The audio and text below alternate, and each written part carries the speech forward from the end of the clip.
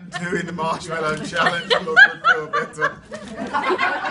One, two, three, four,